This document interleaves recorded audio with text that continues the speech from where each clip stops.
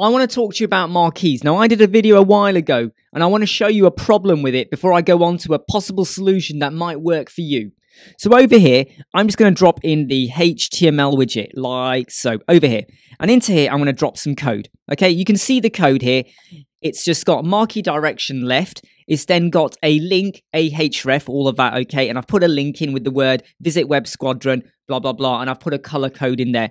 I could have, if I just make a copy of this, okay, like so. So the bottom one I've just changed now just to be hello in there, okay? So we have this one here that has the uh, the href and all of that. Now you're looking at it thinking, hey, that's pretty cool. But there is a problem with this. If you start to add in lots of other text in there, as it scrolls along, there is a gap before it returns to number one. So let's say I make this quite long and convoluted, whatever, there's loads of text.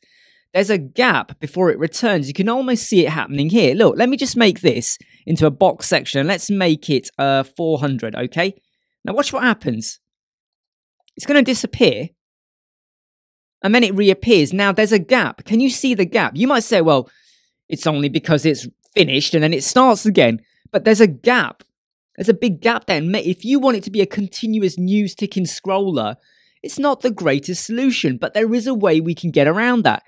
So we're going to leave that up over here, and I'm just going to got another section down here. Now, into this section, okay, in fact, what we'll do is let's just make this go to the top so we can see it a bit better. I'm going to use the testimonial carousel, okay? And at this point, you're probably going, what? What's he doing here?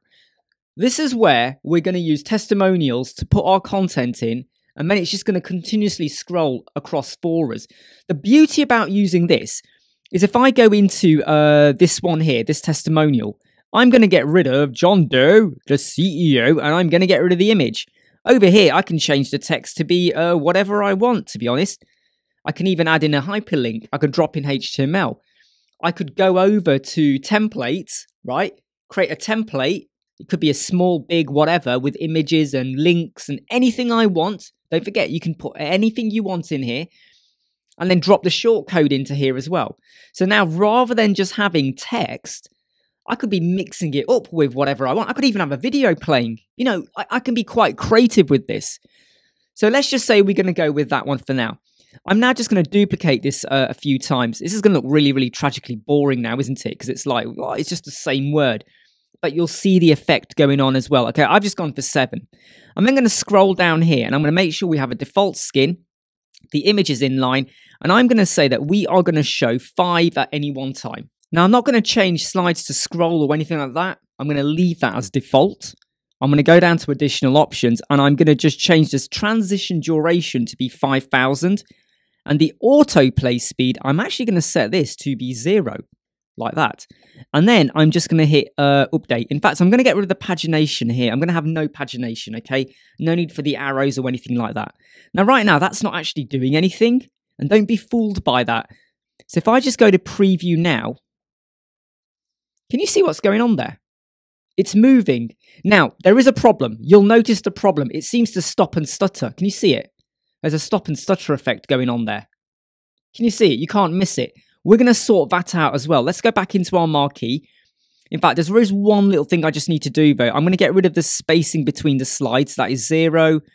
And I'm going to go back to my content and I'm just going to make this section be a boxed width of about, uh, let's go with 900.